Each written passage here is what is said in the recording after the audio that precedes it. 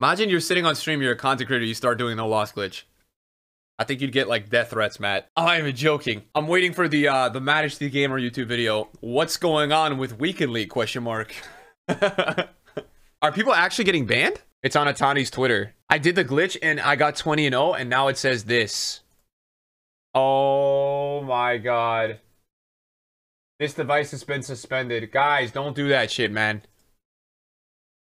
Imagine, bro. Imagine you're doing that for an extra red and you lose your account for the whole year, man. Yeah, guys, don't do that, man. Guys, just play just play nice and fair, okay? Don't be assholes.